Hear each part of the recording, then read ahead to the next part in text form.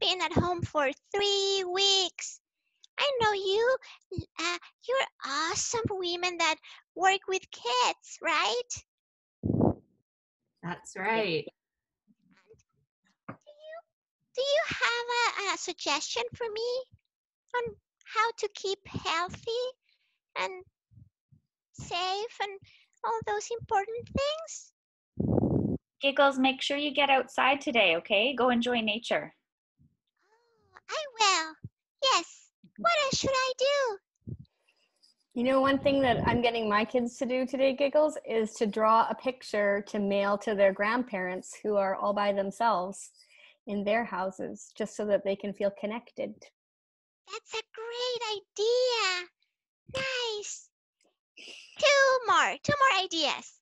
You know, one thing Giggles we did yesterday was some kids all down our street had rainbows in their windows. And so we painted a rainbow as well and made a Lego rainbow to put in ours so that when they walk on the street, they can see all the rainbows. What a great idea. I love Legos. Okay, one more and that's it.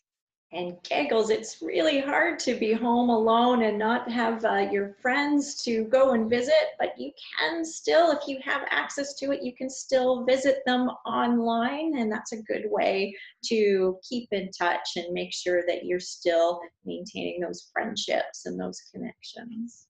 Thank you. That's such a great idea. And you all work for the International Institute for Child Rights and Development?